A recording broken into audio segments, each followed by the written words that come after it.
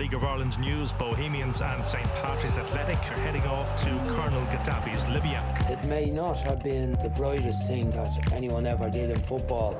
I'm the bad guy. Duh. Gaddafi was at that time a world figure, and he was painted as the devil himself.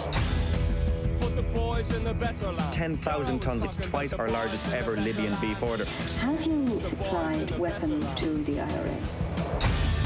The Norwich selection was called to go over and play. I think it was 80,000 people at the stadium. There was fellas on horses firing machine guns. I think they might have been spun a bit of a story that was the Irish international team were coming.